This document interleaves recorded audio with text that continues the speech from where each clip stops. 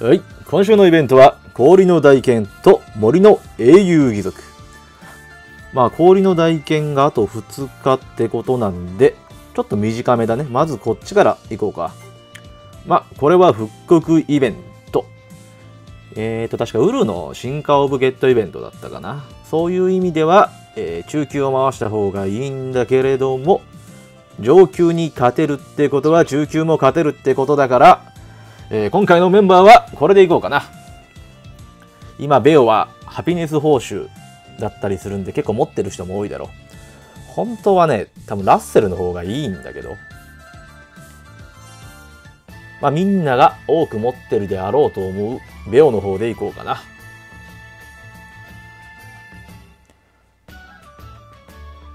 ラッセルのね、緊急回避用のスキルはある方が便利なんだけどね。まあ、そういう状態にならないようにうまく立ち回ろうと。まあ、全国なんで他の人のメンバー次第だったりするところはあるけど。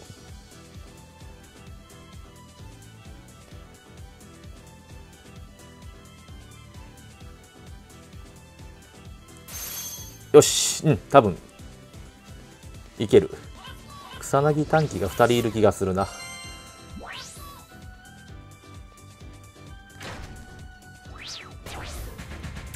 まずはここだね。ちゃんと2人同時攻撃できるようにして、早めにコストを回収。よ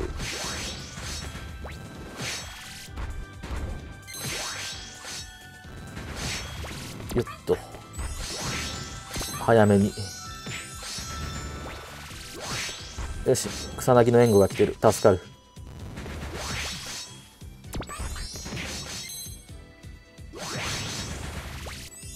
交代しとこうかな。止めれてない。ち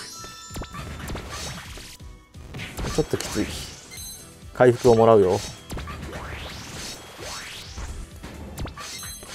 間に合ってない。ちょっとまずいな。あ、助かった。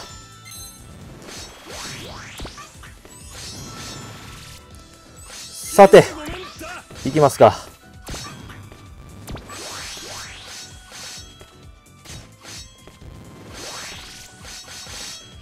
ちょっと時々回復もらわないと辛いな。よっと。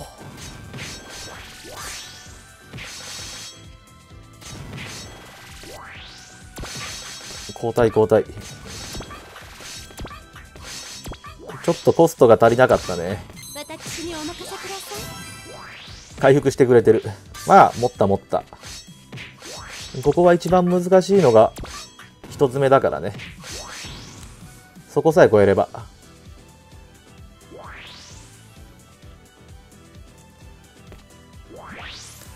さーて、2ウェーブ目はどう来るかなこうか。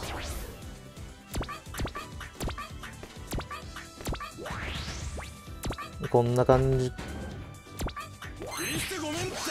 そう草薙で来る人は開始と同時に1、2キャラは倒しておいてほしいんだよね。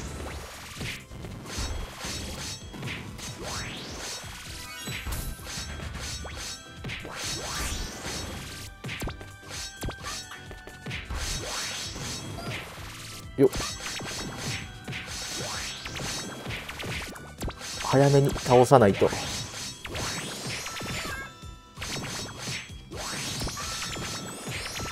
よし。俺もやっと出せた。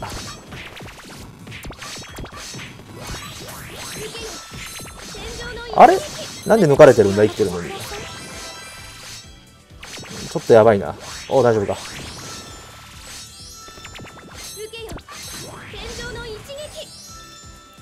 よし。2ウェーブ目も超えた。できればカーローンで一気に攻撃上げたいからな。みんなこっち集まってほしいな。もう最後はボス倒すだけだからね。よし、もう一発はできないか。まあその辺でザコを倒しつつ、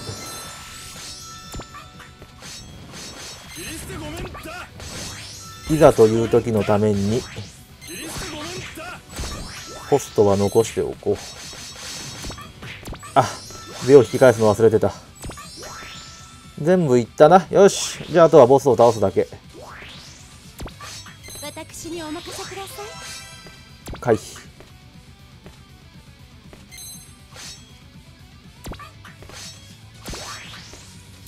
受けよ天井の一撃。サミダレ好きか返しきそうで怖いな。逃げれるようにこっちに。必殺を打つとこのカウンターが来るからね。あんまり打たない方がいいんだよね。雷神来ちゃったな。雷神は回避。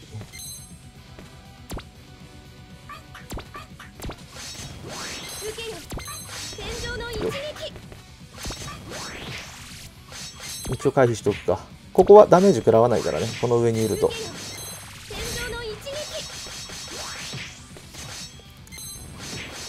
ほんと勘弁してほしい。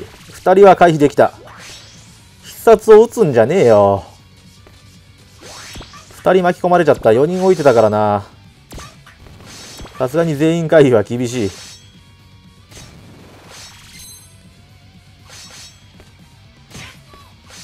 まあ終わったな。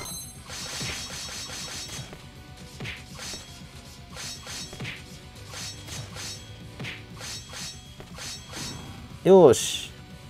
さすがにねあのカウンターを4人全員回避は無理かな。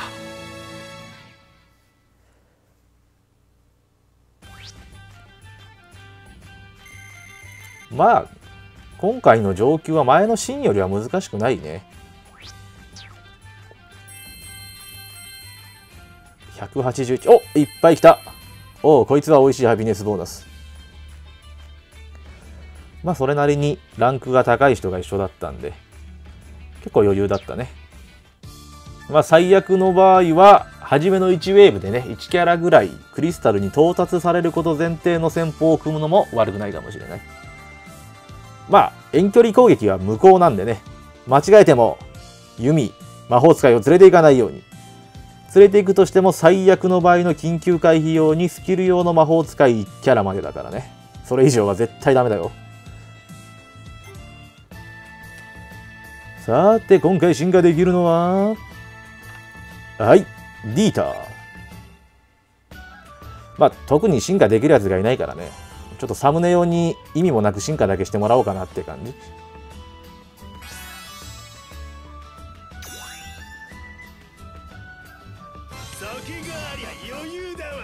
先がありゃ余裕だわい。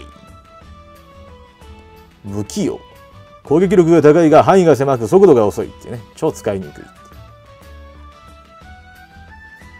えーとね攻撃力を10%上げ気絶耐性にならないって言うけどねスキル5も使うのはきつすぎだよね。そして進化用の部は現在2つ。これも結構厳しいんだよね。まあそこまで使えるキャラじゃないよね。まあコレクション用に育てはするけどね。っていうことでもう今回はねすることもないんで氷の体験の復刻はこれで終了します。次は森の英雄義足でお会いしましょう。